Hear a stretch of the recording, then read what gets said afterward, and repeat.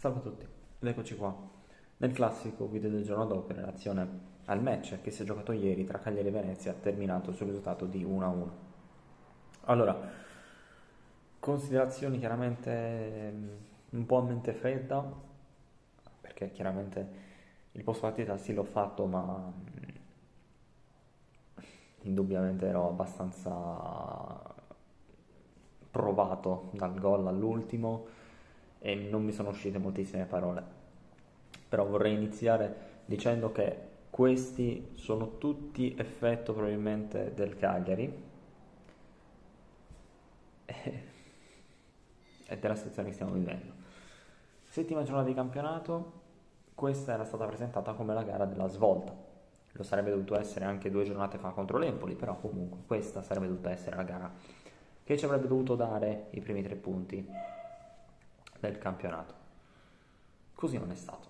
Cagliari pareggia, viene riasciuffata al 93esimo grazie al gol. Realizzato da Busio. E che dire. Allora ehm, ieri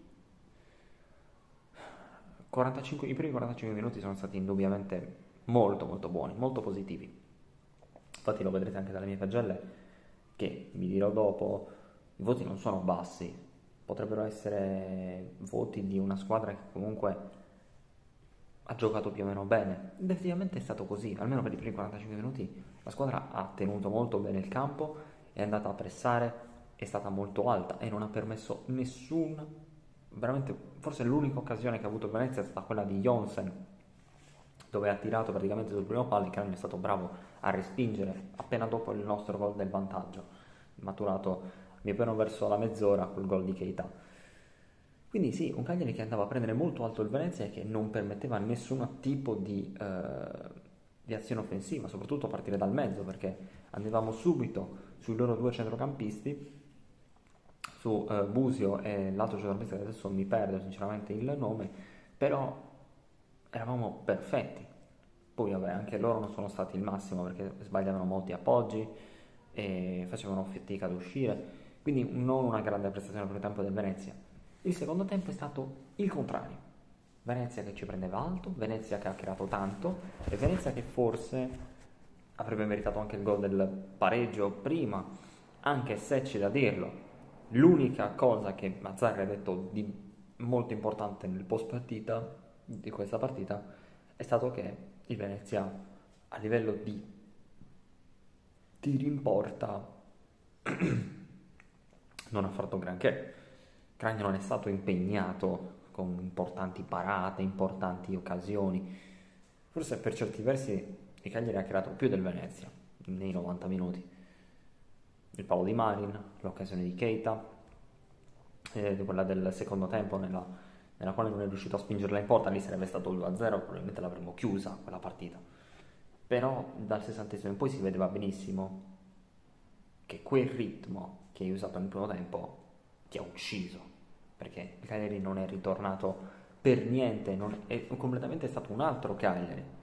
È, come, è, è, è stato come vedere due partite diverse, il primo e il secondo tempo.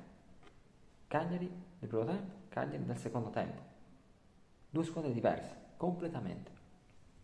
Una squadra che poi i primi, veramente gli ultimi, l'ultimo quarto d'ora l'abbiamo giocato nei nostri 30 metri. Nei nostri 30 metri. Ragazzi, ci siamo fatti riprendere così. Io, io veramente non ci posso credere.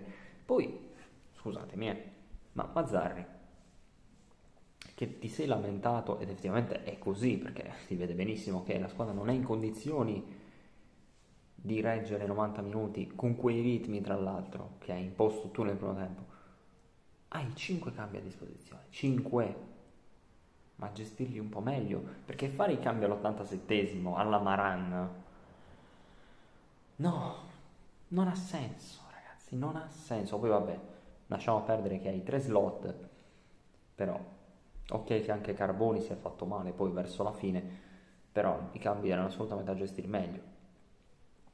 Assolutamente, assolutamente. Ti mettevi a 5, ti stavi un po' più cravato dietro e quella cappella del, dell'occasione finale non la facevi, secondo me. Poi, se la chiudevi era ancora meglio, però chiaramente eh, adesso è andato quello che è andato. E ehm, adesso c'è la sosta. Tra l'altro siamo appunto a capo perché partiranno Godin, Cáceres, Nandez, Pereiro per l'Uruguay, partirà Marin per la Romania, Valukiewicz vediamo se partirà con la Polonia, Carboni e Bellanova con l'Under 21, e Cragno non so se sarà convocato per la nazionale con l'Italia ma vediamo. Che altro c'è poi? Keita con il Senegal. Quindi sei punto a capo. Cioè, adesso quanti giocatori hai a disposizione per fare questa sosta che tra l'altro ti troverai di nuovo i calciatori nazionali, soprattutto gli uruguayani che ti tornano a poche ore dal match contro la Sandoria. Con una situazione psicologica del genere, cioè Mazzarri è, ha un compito impossibile, cioè io non gli do neanche la colpa, lo vedrete anche dal voto che gli ho dato nelle pagelle è, è impossibile, cioè chi dà la colpa a Mazzarri per questa situazione è uno stupido, perché lui non ha colpe. Ha sbagliato ieri, qualcosa l'ha sbagliato anche lui, indubbiamente. Ma dare tutta la colpa a lui è una minchiata. Così come, dare, eh, come, così come è stupido dare colpa a semplici. La colpa, soprattutto maggiore, ce l'hanno lì in alto, ce l'hanno i poteri forti del Cagliari. Non aggiungo altro, passiamo direttamente alle pagelle perché sennò qua si va sempre sui soliti discorsi, passiamo alle pagelle che è meglio. Allora, dalle pagelle potrete ben vedere che i voti non sono bassi, c'è qualche insufficienza, ma sono soprattutto sufficienze non particolarmente alte, però chiaramente sono sufficienze. Cragno voto 6. Come ho detto prima, il Venezia a livello di tiri in porta non ne fa tantissimi. Compie una buona parata su Jonsen nel primo tempo, dove copre bene il suo palo, e poi è attento sulle varie uscite. Chiaramente sul gol di Busio può veramente, veramente poco. Quindi Cragno voto 6, 6 politico, potevo darne anche 6,5 volendo, ma non mi andava. Carboni, lui sì, 6,5. Eh, zero sbavature ieri dei Carboni. Indubbiamente ieri zero sbavature. Esce soltanto perché deve... perché ha i crampi o comunque ha un problema alla coscia appena su un contrasto, comunque su una palla aerea. Appena cade sente probabilmente tirare i muscoli, probabilmente il quadricipite o magari qualcosa là vicino e deve lasciare il campo ad altare, a cui io chiaramente non do un voto, anche se che gli si può dire anche a lui, cioè che entra a freddo a, in una partita che pesava come un macigno, eh, non gli si può dire nulla ragazzi. Al debutto in Serie A così, cioè, ma che, che, che, poteva fare? Che poteva fare? Godin, peggiore della difesa, voto 5,5. È uno di quelli che con la condizione fisica sta messo peggio, però è vero che... Eh, a livello di marcatura nelle ultime partite è veramente ridicolo. Osimen a Napoli, Jonsen adesso, pure quegli altri attaccanti che poi sono subentrati del Venezia, Henry, e poi vabbè anche l'altro centrocampista, l'altro centrocampista Cernigoi. Godin ieri è stato completamente surclassato a livello proprio fisico eh, e anche tecnico. Quindi 5,5, non posso dare di più. Migliore della difesa invece è Martin Caceres, a cui ho dato un bel 7.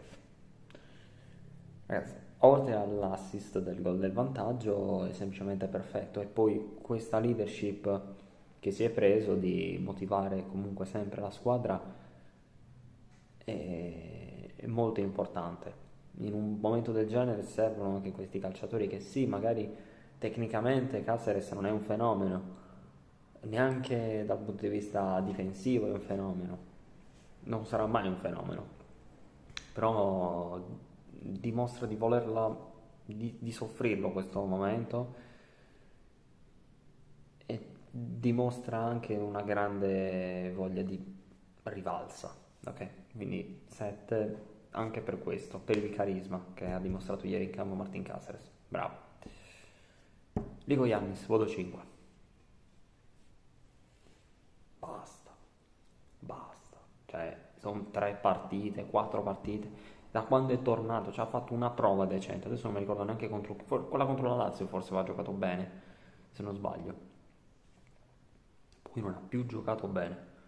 Indubbiamente uno dei peggiori in campo ieri Nico Giannis, non mi è piaciuto per niente. Poi anche lui non è che ha fatto particolari sbalzature, ma è completamente inutile per tutta la partita. È completamente inutile. 5. Non entra mai, cioè non entra mai nel, nel clima, non entra mai nella partita, non entra mai in qualcosa di importante. E poi qualche errore tecnico che chiaramente eh, implica questo voto. De Iola invece voto 6 senza infamia, senza lode, fa il suo, e nel primo tempo comunque mi è piaciuto molto, poi nel secondo tempo chiaramente cala fisicamente anche lui e gli subentra Zappa a cui do dato un 5 perché chiaramente non è azzeccata una da quando è subentrato Zappa. Marin, stesso voto di Caceres, uno dei migliori, anche lui voto 7, forse i due migliori in campo sono proprio loro, Caceres e Marin. Marino anche lui nel primo tempo non entra benissimo, primi, il primo quarto d'ora non è perfetto, anzi fa fatica un po' a entrare nella, nella gara, poi ci entra e non ci esce più. Prende un palo a fine primo tempo con quell'azione che mi ha ricordato molto Marco Rog e, e poi è uno dei pochi che si vedeva che all'ottantesimo, ottantacinquesimo così stava bene. Cioè, chiaramente c'era stanchezza in campo, però lui era in condizioni. Uno dei pochi, uno veramente dei pochi. Strotman, il contrario di Marin, voto 5. Malissimo, malissimo. Per il momento non abbiamo ancora visto il vero Kevin Strotman. È soltanto una brutta copia quello che abbiamo visto in questo momento. In tutte le partite, eh, indubbiamente. Lo Strotman migliore forse l'abbiamo visto alla prima di campionato contro lo Spezia e basta, anche perché poi eh, non ha giocato contro il Gemmo, mi pare, forse anche contro la Lazio, boh, non mi ricordo.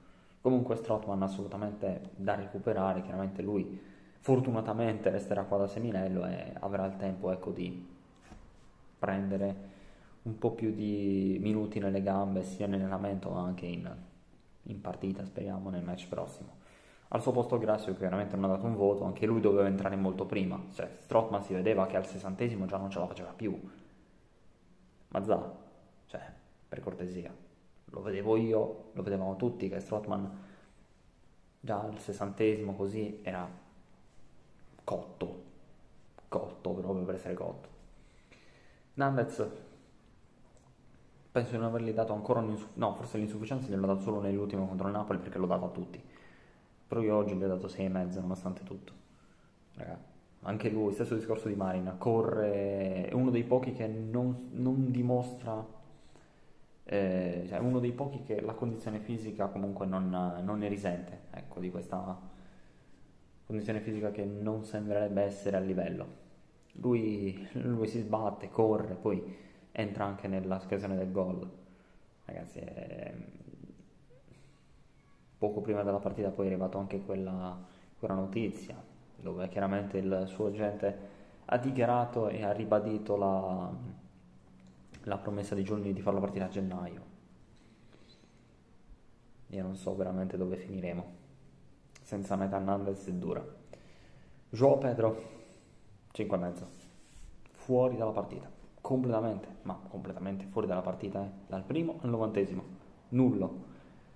Crea qualche buono spazio per Keita nel primo tempo, nel secondo tempo non c'è anche lui, credo che sia molto provato, anche se forse ci mette anche un po' del suo perché a volte si nasconde, non lo so. Keita invece 6,5, fa 65 minuti più o meno, gol lo fa lui, anche una buona occasione per fare il 2-0 nel secondo, peccato che liscia il pallone. Tra l'altro Maro- Malocchi, Giancarlo Marocchi nel, mm, in telecronaca ha detto proprio qua si vede nell'occasione poi dove Keita ha sbagliato il, ipotetico 2-0 e ha lisciato il pallone. Mm, Giancarlo Marocchi ha detto proprio qua si vede tutto il non essere attaccante di Keita.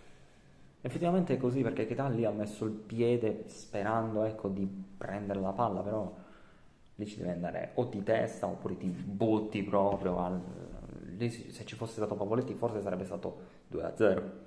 Pavoletti che è subentrato, io gli ho dato un 6. È stato presentato ecco, con un, con anche lui con una condizione fisica che gli ha permesso di giocare circa 35 minuti, non di più, ma si vede che non è al meglio ragazzi. Fa qualche buona sponda, io gli ho dato 6, fa qualche buona sponda come ho detto prima, cerca di tenere la palla ma non so ragazzi, ehm, sembra veramente che i calciatori in questo momento non ci siano proprio con le gambe, cioè alcuni soprattutto non ci sono con le gambe, alcuni con la testa, alcuni con le gambe, Al- altri invece entrambi, sia con le gambe che con i piedi, cioè sia con le gambe che con la testa, scusatemi.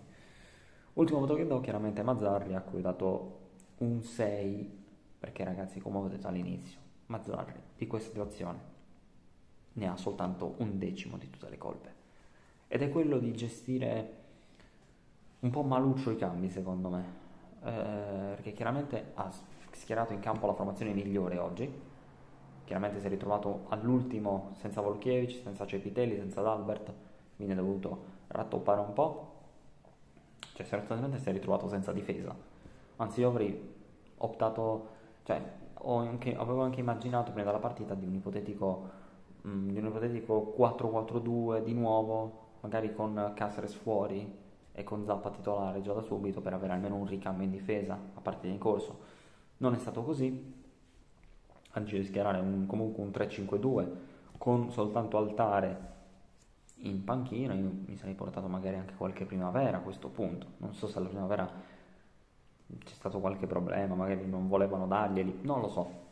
Però non mi è piaciuto molto come l'ha gestita, sia dal punto di vista dei cambi, ma anche con la condizione fisica che, di cui ti lamenti se sai che non puoi tenere quel ritmo, neanche, ma neanche la metà di quel ritmo che hai fatto nei primi 45, perché lo fai?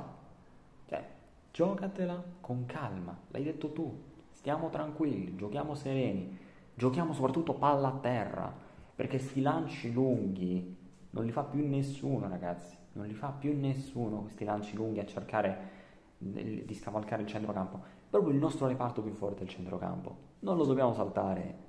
Non dobbiamo saltare proprio il nostro, il nostro, la nostra zona di campo dobbiamo avere giocatori più qualitativi perché Marin e Strottman non sono due scappati di casa Nandez non è uno scappato di casa De Iola possiamo anche non passargli il pallone però comunque anche lui non è che eh, ieri ha giocato malaccio basta questi passaggi così buttati basta questi lanci lunghi inutili dobbiamo giocare con la testa, perché adesso la situazione è veramente complicata. Siamo a tre punti in sette gare. Cioè, abbiamo fatto tre pareggi e quattro sconfitte, che volendo possono essere anche... Cioè, tre punti in sette gare sono... È come se avessimo fatto una vittoria e sei sconfitte. Cioè, è imbarazzante. Imbarazzante. Quindi, adesso c'è la sosta. Con tutto che mancherà mezza squadra. Mazzarri adesso ha tempo di lavorare, di mettere mano a tutto dal punto di vista tecnico, tattico, mentale, fisico, soprattutto fisico. Non so se la squadra andrà in ritiro, me lo auguro perché dobbiamo fare un ritiro adesso. Cioè, un ritiro non punitivo, ma un ritiro che permetta alla squadra di rimettersi in pari con le altre, perché si vede benissimo che tutte le altre squadre ne hanno più di noi, soprattutto dal punto di vista fisico, non fa vederli, perché siamo ad ottobre ragazzi, siamo ad ottobre e non siamo in condizioni di giocare 90 minuti, è imbarazzante questa cosa, quindi adesso calma, facciamo partire i nazionali, se proprio devono partire, se non, se non, se, se non vogliono partire che restino qua, perché se c'è la possibilità di farli rimanere, io li farei rimanere perché tanto, scusatemi, eh, non, non, ci sono quelle squadre che vietano anche i calciatori di andare in nazionale. Vietiamoglielo, se possiamo. Perché devono continuare a lavorare qui. Perché il club è più importante adesso che la nazionale. Forse per loro no, ma per noi sì. E lo devono fare per noi, tifosi. Che ieri abbiamo visto l'ennesima figura di merda. Forza Castello sempre. E ciao ciao.